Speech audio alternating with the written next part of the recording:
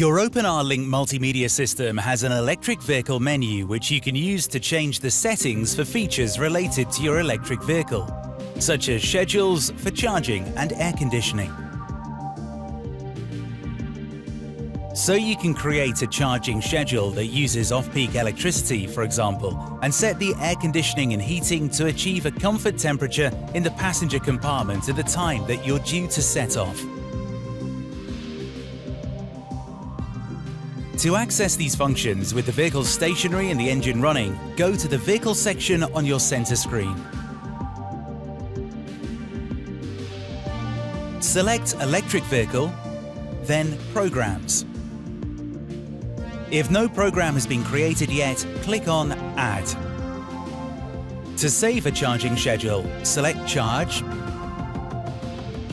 To save a comfort schedule, select Climate Note that you can select both.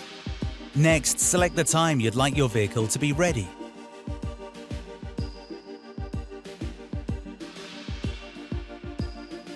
In other words, charged to the charge level you set in the Battery tab. and or at the ideal temperature at the specified time. Press Save to confirm your schedule. Once a charging schedule has been saved, this indicator light appears on the instrument panel. Once a comfort schedule has been saved, this indicator light appears on the instrument panel. This list shows all of the charging and comfort schedules that you've created. Note that you can record up to three programs. You can now switch a schedule on or off, or you can modify it. To delete a schedule, press the Recycle Bin icon. You can also change the option settings by pressing here. Click on Charge Settings to change your preferred charging times. Select the start and end times for your program. Note that the start and end times you select will be applied to all the charging programs in your list. Press Save again to confirm your schedule. Click on Climate Settings to set the options for the thermal preconditioning program. You can then choose the temperature to be reached in the passenger compartment. Switch the heated seat or heated steering wheel on and press Save.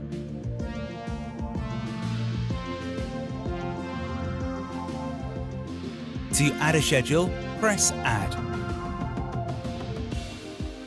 Remember that charging will only start if the engine is switched off and the vehicle is connected to a power source with authorized access.